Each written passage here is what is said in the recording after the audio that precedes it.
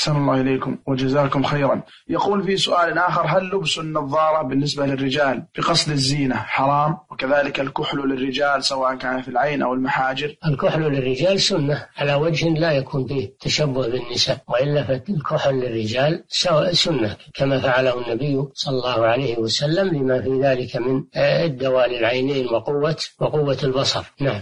ولبس النظارة ولبس النظارة يجوز من المباحات. هو من المباحات ما لم تكن هذه النظارة فيها ذهب أو فيها فضة. إذا كانت نظارة ليس فيها ذهب ولا فضة لا يجوز لبسها للرجل سواء لضعف البصر أو لغير ضعف البصر. نعم. وإن كانت تفضي إلى شيء من التقليد؟ لا ما في تقليد. لبس النظارات ما في تقليد. هو من العوائد المشتركة بين الناس. نعم.